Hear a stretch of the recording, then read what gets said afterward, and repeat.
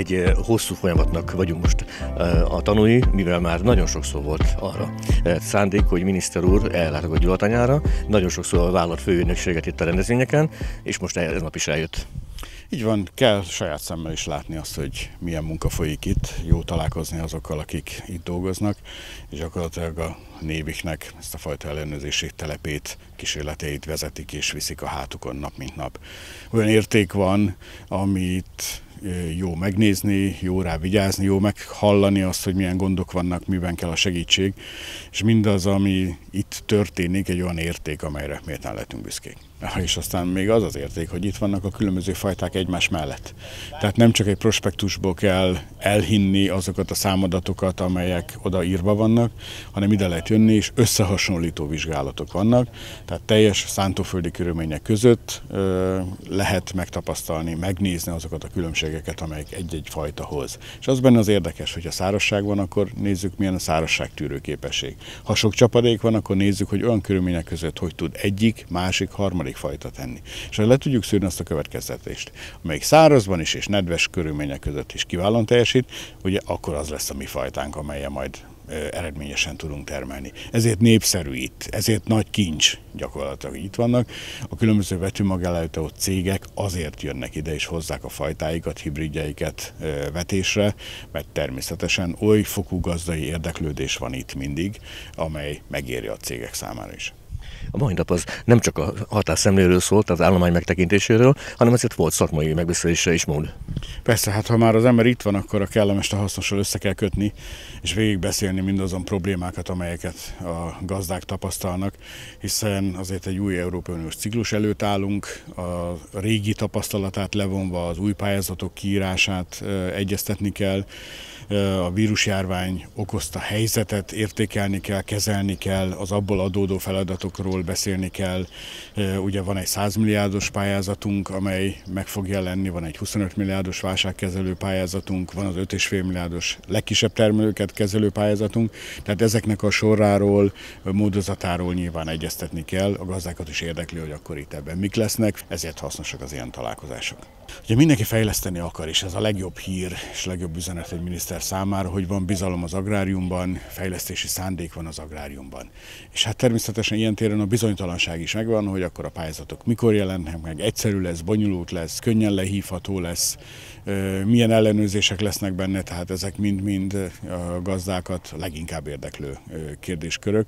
Jó ezekről beszélgetni. Azt hiszem, hogy ütésállóvá vált a magyar mezőgazdaság és élelmiszeripar. Tehát azt láttuk, hogy március 14-én, azon a bizonyos szombaton háromszor többet vásároltunk, mint egy karácsonyi nagy bevásárláskor. És volt áru. És lett aztán a következő napokban is végig. A gazdák főkeltek minden nap megetetni a jószágot a pandémiás időszak alatt is. Kimentek vetni, amikor vetni kellett. Azért, hogy majd arassunk, akkor, amikor már nyilván járvány elmúlt, de akkor legyen mit aratni. Ez az a gazdai hozzáállás, ami, ami pótolhatatlan. És ezt ez helyezte a magyar mezőgazdaságot egy olyan stratégiai helyzetbe, amelyel megerősödve tud kikerülni a járvány utáni időszakból. Ha megnézzük most a 100 milliárdos pályázati alapot, amely ugye 50 milliárd állattenyésztés, 30 milliárd kertészet és zöldséggyümölcs ágazat, illetve 20 milliárd az öntözésfejlesztésre. Itt van az a 25 milliárd forintos gazdaságvédelmi alapban lévő pályázatok, amelyeket a járványveszély alatt elszenvedett károkra lehet fizetni a gazdáknak. És itt van 5,5 milliárd, amely a legkisebbeket segíti, tehát mind-mind olyan lehetőség, amelyel egyrészt a károk mérséklését, másrészt pedig az újraindulást tudjuk segíteni. És itt a beszélgetés is pont arra irányult, hogy ez a dolog lényege. Hogyha fejlesztünk, ha megyünk előre, akkor nyertesei leszünk ennek a folyamatnak. Ha megállunk, nézzük a köldökünket, hogy milyen nehéz nekünk, akkor bizony lemaradunk, és akkor abból komoly baj lesz. A magyar mezőgazdaság ma a gazdáknak köszönhetően egy nagy várakozással és lendülettel halad. És azt látom, hogy van még egy dolog, amiről beszélnünk kell. A járványveszély megtanított arra is minket, hogy a hazai terméknek mekkora értéke van. Megtanított az önellátás képességének fontosságára. És ez, hogy a hazai terméket helyezzük az előtérbe. Itt a vásárlói tudatosságot kell erősítenünk, és az elkövetkező időszakban erre fogunk nagy hangsúlyt fektetni, hogy hogyan tudjuk a vásárlókat úgymond edukálni, hogy a magyar árut válasszák. Fogalmazhatnék úgy is, hogy a magyar gazdák sorsa, vagy a magyar mezőgazdaság sorsa a tudatos vásárlók kezében van. Elköszönésképpen azzal fejezem be, hogy viszontlátás a gyulatanyán.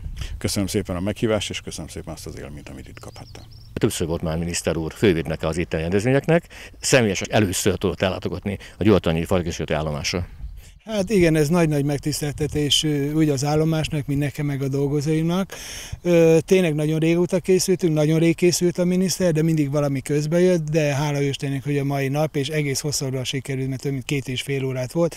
Bejártuk a területet, nagyon-nagyon fontos témákat egyeztettünk, megbeszéltük, öntözéssel, kísérlettel, jövővel kapcsolatban, ők hogy gondolják, mi hogy gondoljuk, úgyhogy nagyon-nagyon hasznos és érdekes információt kaptunk, úgyhogy nagyon maximálisan meg vagyok elégedve helyzetbe. Úgyhogy minden közeműködének se köszönöm, aki hozzájárult ahhoz, hogy a miniszter úr ma itt legyen. Idejévre a pandémia rányomta a bélyegét, tehát itt az állomás tekintetében is az eddigi bemutatók sajnos elmaradtak. Hát nagyon-nagyon remélem, hogy az elkövetkező időben meg tudjuk tartani a bemutatókat. Tehát ami elmaradt ugye az a június eleje a kalászos repce, de mivel ugye drónfelvételekkel a partnereket tájékoztattuk, illetve elküldtük az anyagot, tehát nem maradtak információ nélkül. Hát ebben az évben még tervezünk csemege, kukorica, própria Forgo, kukorica és burgonya bemutató, ugye a fő attrakció.